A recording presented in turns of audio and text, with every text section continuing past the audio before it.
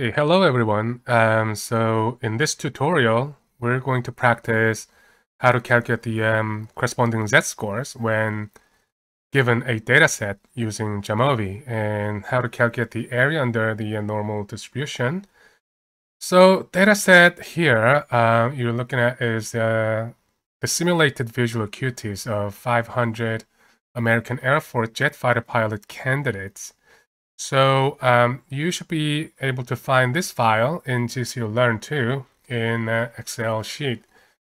So let's just look at um, this data and convert all the score into the z-scores. But if you want to convert any scores to z-scores, the first thing you need to know is the mean and the standard deviation of the data set, right? Um, if you still remember the, uh, the, the formula to convert the raw score into the z score. So z equals x data minus the mean of the data, mu, and that's um, that goes in the numerator, and then that difference between the data and the mean is divided by the standard deviation of the data set. So let's calculate the mean and the standard deviation of, oh, before we do that actually, um, we need to name the variable properly. So instead of just saying A, um, say I'll just pilot VA, okay, and then run the analysis. Because what we need is really mean and the standard deviation this point. So um, we'll just tick those two boxes only and move the variable and voila, we have um, the mean and the standard deviation. Now we go back to the data and we use this compute function to um, change all this raw score into the z-score all at once instead of calculating the individual z-scores, um, the datum by datum. So um, this is just a given by Jamovi. So we're going to just change it to some meaningful name, ZVA. Right? So this is a standard score of the visual acuity measurement. So once we name this, then you can we can actually use that formula. So um, we want to change uh, the logMAR VA into uh, the z-score. So you can move the whole variable into that equation. And then you minus the mean of, oh, where did it go? Oh, there we go. So mean of uh, pilot VA, which is negative 0.186, uh, 0.186 so negative negative becomes plus, so 0 0.186. And this difference is divided by the standard deviation. Okay, so that's 0.711. So if you just hit enter, then it'll give you the individual corresponding z-scores, right? So, you know, the logMAR VA of negative 0.171, uh, the corresponding z-score is 0.205. So this is um, within uh, the one standard deviation actually above the mean. So that is uh, how you calculate the uh, z-scores from the raw data. So let's just run some descriptive analysis uh, for these two variables. So go to analysis, descriptive. Now, let's see what we have. Um, standard deviation, and then plots. Let's do histogram. Okay. And we're going to move both variables together.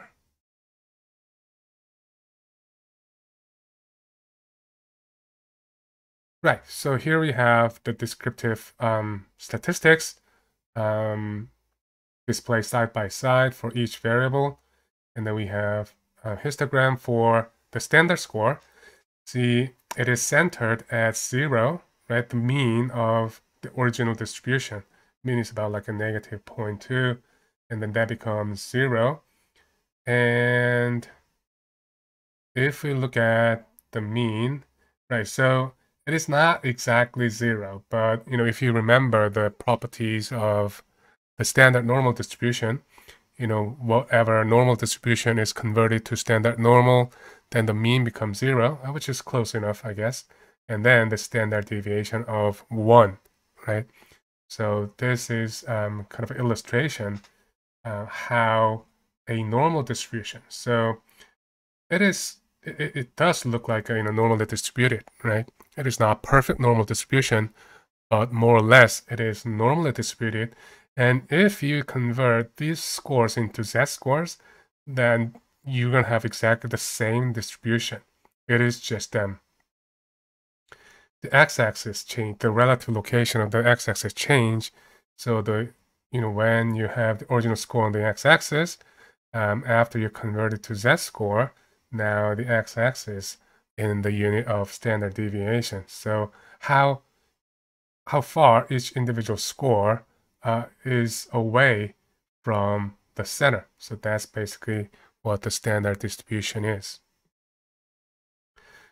Um, mean and median is close enough, uh, but mode is not quite. But you know, all these three central tendency measures are uh, within quite close proximity together, which is another property of the normal distribution. So now let's take a look at you know how we can calculate um, area under uh, the normal distribution. So to do so, uh, we need to install kind of extra module. Um, that's what they call um, kind of extra package of uh, statistical analysis. So if you just click on this module, the plus, then it'll show you, well, I already installed all these modules before, so that's why it's all listed, but you probably won't see this. But um, there should be an option for you to um, install um, the modules. So if you just click on this, manage um, installed library. So here are the list of uh, modules you can actually add onto the basic Jamovi. And among these, what you need is is this oh um available okay um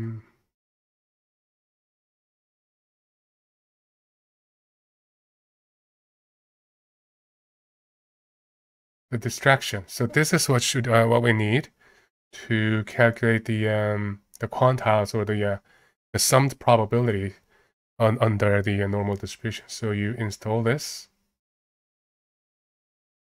And it's pretty quick. And once you install the module, then it'll show up in the menu. So if you want to be a pilot for jet fighter, then obviously you need to have a you know, very sharp visual acuity.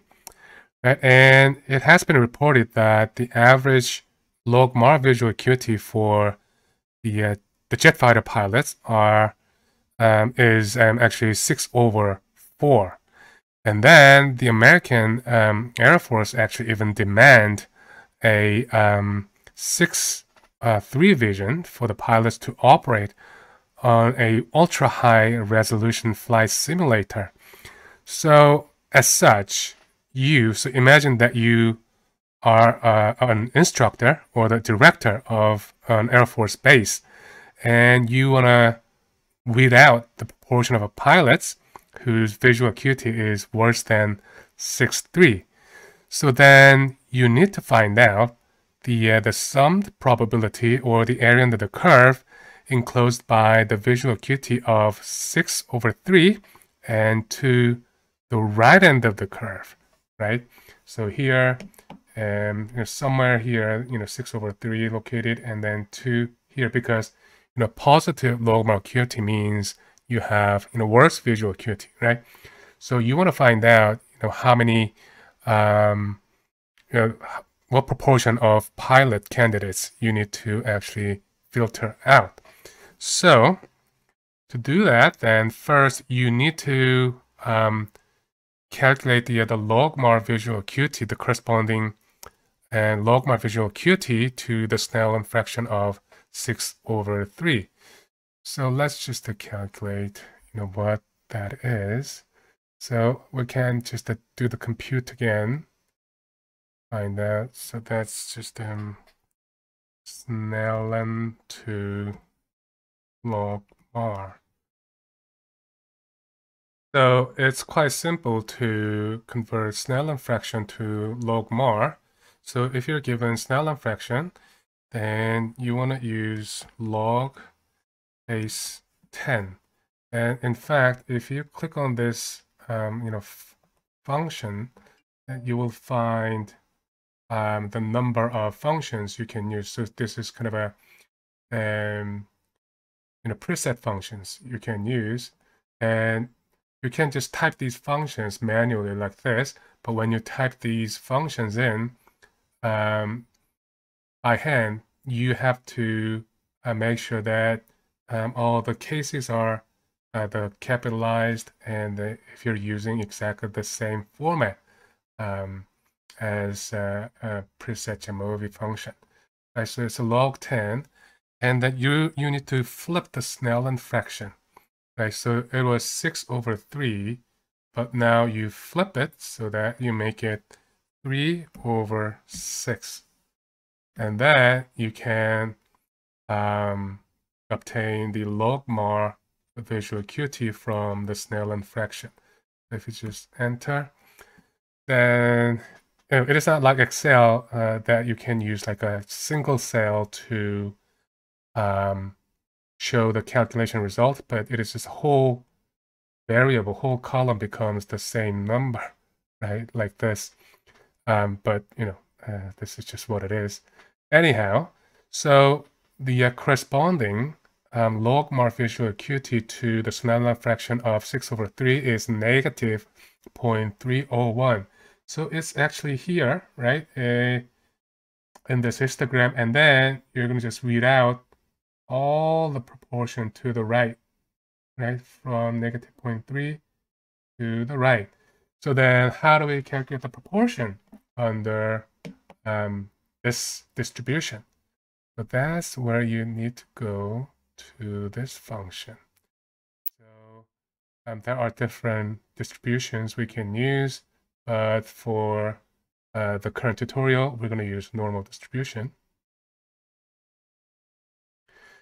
Right. So um, you need to know uh, the uh, specifics about the normal distribution, the mean and the standard deviation. So the mean was negative 0.186 and the standard deviation was 0.0711.